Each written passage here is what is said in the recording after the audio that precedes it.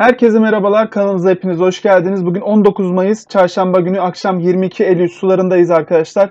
Ee, biz bugün yine öğlen sularında kısa vadeli analizleri yapmıştık ama hem piyasa koşullarında e, gerçekleşen ani hareketler hem de e, arkadaşlar daha güncel durum değerlendirmek için sizlerle tekrardan birlikteyiz. E, mikrofon sorunumuz var çünkü e, yani bulunduğum e, evde değilim arkadaşlar. Yani elimizden geldiğince zor koşullarda sizlere analiz yapmaya çalışıyorum. Mikrofonumu e, değiştirdim. Umarım en azından bir tık daha olsun e, sizlere daha iyi bir kalitede ses geliyordur. E, bunun dışında da herhalde yapacağım e, çok bir şey gözükmüyor.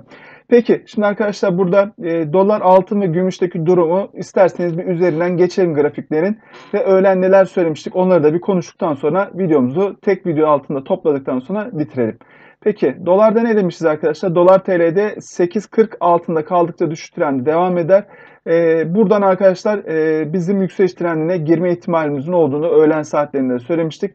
Yaklaşık olarak 8.39-8.40 seviyesinden e, 8.30 desteğinin e, öneminin görüldüğünü aktarmıştık ve bugün de e, bizim şu 8.30 desteğinden yukarı doğru dönmeye doğru e, hareket ettiğimizi gözlemlemiştik. Yine o grafiği açarsak, dolar grafiğini açalım arkadaşlar çok üzerinde durmadan e, değişikliklere bağlı olarak e, analiz etmeye çalışacağız trend durumunu. Evet şu anki duruma baktığımızda arkadaşlar e, 8.39 civarından bir yükseliş trendinin başlamak üzere olduğunu gösteriyor ve bu e, 8.40'ı düz olarak kabul edersek bu seviyeden yükseliş trendinin başlamak üzere olduğunu e, sizlere aktarabiliriz. Kapanışla beraber arkadaşlar burada e, deminki özetten daha e, net bir ifadede e, buradaki özetimiz e, daha doğru gözüküyor. Dolar TL'de 8.39-8.40'dan yükseliş trendine bugün girebiliriz demiştik. Ve direnç olarak da 8.43 e, ben bugün görülmesini bekliyordum. Gördüğünüz gibi tam 8.43-48'leri gördük. E, ama burada daha sıkıntılı bir bölge var arkadaşlar. Orası da 8.47. Eğer orayı aşarsak tekrardan 8.55'lerin e, karşımıza çıkabileceğinden bahsetmiştik. Artık biz 8.40'ların üzerinde olduğumuza göre yeniden 8.43, 8.47'leri beklememiz gerekiyor diye düşünüyorum. 8.55'lerin de önemini e, burada e, bir üçgen hareketiyle beraber yukarı gidiyoruz biliyorsunuz. O harekette yeniden karşımıza çıkacak noktalardan bir tanesi. Ve burada da e, destek noktasını da arkadaşlar yine şu evet arkadaşlar burada 8.37, 8.32, 8.30'lar dedik ama e, tabii ki burada e, gördüğümüz en düşük seviye 8.35'ler yani 8.37 bölgesi bizim için çalışmış gözüküyor. 8.32, 8.30 artık uzak tarafta kalmış durumda gözüküyor. E, şimdi burada arkadaşlar öncelikle e, akşam saatlerinde Fed'in açıklamaları oldu. Amerikan 10 yıllıkları grafiğini açarsak arkadaşlar burada ee, öğlen saatlerinde demiştik ki burada e, tekrardan 1.69'lara giderse e, yukarı doğru formasyonu e, katlama çabaları da oluşabilir demiştik ve saatlik bazı grafiği açarsak açıklamalarla beraber sert bir şekilde gördüğünüz gibi gap yaparak yani boşluk yaparak 1.65'lerden 1.69'lara götürdü. Bu da dolar TL'yi aslında yukarı götüren sebeplerden bir tanesiydi. Yine burada saatlik bazda açarsak bakın gördüğünüz gibi burada da 8.43'ten biz 8.37'lere kadar gelmiştik. Sonrasında da akşam saatlerinde 8.38'den ani bir şekilde 8.42'lere yükselmiş durumdayız. Yani şu an e, haber akışları da dolar TL'nin yukarı gitmesini e, destekliyor. E, fiyat grafiği de destekliyor ama indikatörlerde ben birazcık yani çok güçlü bir hareket göremiyorum. O yüzden Burada e, 8.47'lerin herhalde kırılmasıyla beraber burada indikatörler düzelecektir diye düşünüyorum. Yani bu hareket devam ederse arkadaşlar yani 8.40 üzerinde kalmaya devam ederse potansiyelini koruyacaktır. Peki çok uzatmadan şimdi altın tarafına geçebiliriz. Altın tarafında da 1875'ten düzeltmeye başladı. 1850'ye kadar eyvallah ancak bu seviyenin altında kalırsak yükseliş trendi tehlikeye girer demiştik öğlen saatlerinde. Destek dirençleri verdikten sonra da burada 1830'un çok önemli olduğunu anlatmıştık eğer bir düşüş trendi başlarsa. Gram altında da 501 TL üzerinde kaldıkça yükseliş trendinin devam edeceğini e, bugün ve yarın 501 e, TL'ye dikkatle takip etmemiz gerekiyor demiştik arkadaşlar. Eğer düşüş trendi başlarsa da 485'ler çok ciddi destek diye konuşmuştuk. Bugünkü dirençlerde de 505, 508, 510 seviyelerini vermiştik. Peki şimdi e, ons altın tarafını açalım. Evet ons altın grafiğini açtığımızda arkadaşlar böyle bir grafik çizmiştik öğlen saatlerinde. Ve dikkat edin bugün yine şu e, paralel kanalın dışına çıkmaya çalıştık ama haber akışlarından sonra tekrar kanal içerisine girdik. Kanalın üst noktası da 1875'lerden geçiyordu. Yani 1875'ler halen direnç olarak karşımızda e, gözüküyor. Ve üst noktalarda direnç olarak 1880, 1890, 1896 ve 1903'lere doğru e, bizim bir hareketimiz vardı. Eğer 1885'lerin üzerinde bir hareket olsaydı o zaman 1900'lerin e, yarın veya ondan sonraki gün gelme potansiyelini aktaracak. Ancak şu an yeniden yeniden bu kanal içerisine girdiğimiz için arkadaşlar e, 1880'leri, 1875'leri zorlamaya devam edeceğiz. Burada 1880'ler önemini koruyor diye sizlere anlatabiliriz. Ve burada arkadaşlar yine indikatörler tarafına baktığımızda e, halen ben indikatörlerin güçlü olduğunu görüyorum. O yüzden biz e, arkadaşlar sizlere e, öğlen saatlerinde şunu söylemiştik. 1850'lerin üzerinde e, kaldıkça yükselişte devam demiştik. Onu güncelliyorum sizlere artık. 1865'ler arkadaşlar artık 1865'lerin üzerinde kaldıkça biz e, ons altında yolumuza devam ederiz diye düşünüyorum. 1865'lerin üzerinde kaldıkça bu hareket yukarı doğru 1900'leri zorlamaya devam edecektir. E, bunu ilerleyen günlerde takip edeceğiz. Yani bizim yükseliş trendimiz ons tarafında devam ediyor. Peki e, burada seviyeyi güncelledik ve gram tarafına geçebiliriz. Gram tarafına arkadaşlar 501 demiştik. 501'in e, olduğu nokta bakın zorladık zorladık. E, en düşük 501'leri gördük burada da grafikte gözüktüğü gibi. Ama oraya kıramadık ve toparlayarak yukarı gittik. 510 TL'yi de yine verdiğimiz direnç noktalarından bir tanesiydi orası da. 510 noktasını test ettik. Ee, burada da gözüküyor yüksek olarak 510'ları test etsek de oradan bir miktar kar satışı gelmiş durumda. Burada şunu çizmemiz gerekebilir belki. Yine şuradan bizim bir tane e, yükselen kanalımız vardı. O kanalı da oturtursak burada arkadaşlar 503 TL'den geçen bir seviye vardı iki gün öncesinde ve artık bugün 505'lere yükseldiğini görüyoruz ve 505'lerin de üzerinde bir kapanış bizi arkadaşlar daha üst noktalara götürme potansiyelinin olduğunu düşünüyorum. Çünkü burada dolar da artık yukarı doğru eğer giderse bizim yine kanalımızı göstereyim size.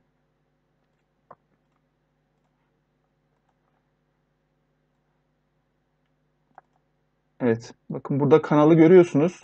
E, iki gün boyunca bu kanalın üzerinde bir kapanışla beraber biz e, biz daha üst noktalara erişme potansiyelimizin olduğunu düşünüyorum. 508-510 TL'yi ben zaten çok uzun zaman önce konuştuğumuz noktalarda hatırlarsanız 540'tan 397'leri arkadaşlar e, bir fibo çektiğimizde bakın burada 508-509 seviyeleri e, erişmiş duruyoruz. E, ve bu noktada arkadaşlar birazcık zorlanabiliriz. Gayet doğaldır.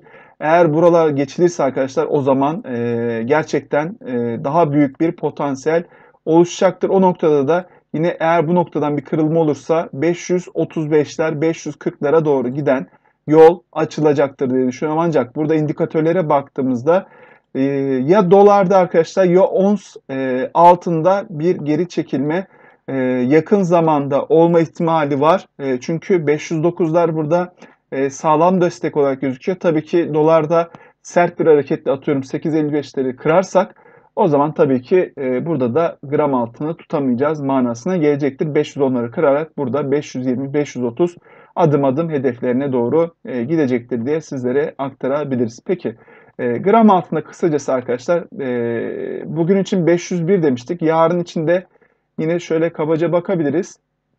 503'ler olması lazım tahminimce. Fibo seviyemiz varsa onunla da çakıştırmaya çalışalım.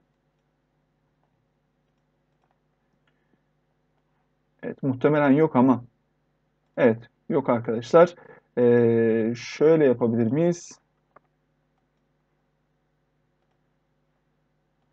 Buradan bir düzeltme ve yukarı doğru gittiğimizde de Evet arkadaşlar burada da bir e, şey gözükmüyor, direnç gözükmüyor. Evet burada en azından üst noktalardaki hedefleri görüyoruz. 510, 510 kırılırsa 515 hızlı bir şekilde 515'e gidebiliriz. Sonrasında da 520'lerde e, zorlanacağı bir nokta olarak ben e, düşünüyorum ve hedef noktası da artık ondan sonra e, ana hedef 535 demin söylediğimiz gibi o noktalara doğru e, gitme potansiyelimiz karşımıza çıkacaktır arkadaşlar. E, o noktalarda da büyük satışlar gelebilir arkadaşlar. Düzeltmeler gelebilir en azından. Bu konuda da şimdiden uyarayım. Peki şimdi e, gram tarafını da bitirdik. E, şimdi gümüş tarafına geçelim. Gümüş tarafına geçtiğimizde arkadaşlar burada yine notları okuyalım. Ons gümüşte 27.65'ten bugün düşüş trenine girme riskimiz var demiştik. 27.2 önemli destek eğer oradan bir düşüş trendi başlasa bile. E, ve destek dirençleri verdikten sonra arkadaşlar gram gümüşte 7.47'den düşüş trendine girebiliriz demiştik. Kabaca o noktayı vermiştik. Burada da yine destek dirençleri verip videomuzu tamamlamıştık. Evet şu an 27.75'lerdeyiz arkadaşlar. Aşağı doğru sarkmalar olsa da yine ons gümüşte arkadaşlar bugün e, direndiğimizi gözlemliyoruz.